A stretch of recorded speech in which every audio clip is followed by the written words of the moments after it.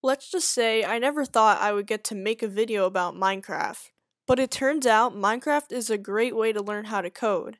With some help from the Raspberry Pi 4, we can control a Minecraft world and even have the game control electrical components.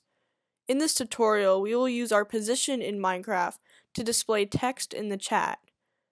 Powering on your Pi, you could see that Minecraft is already downloaded. Create a new world to start. Now build something, maybe a house. Once you're done, go to the entrance of the house and remember the XYZ coordinates in the top left corner of the screen. You'll need them once you start programming. Minimize the window and then open Thonny or any other Python IDE.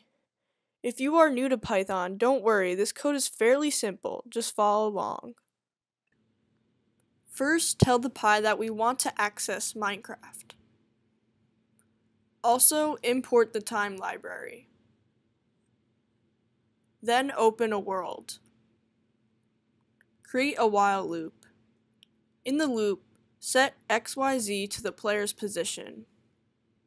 Create an if statement to see if the player's position matches the coordinates you recorded earlier. Note you may have to slightly adjust these numbers.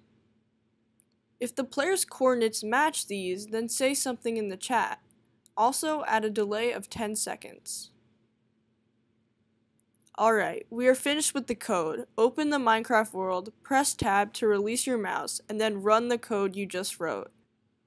When you walk into your house, you should see Home Sweet Home appear in the chat. If not, check your coordinates again.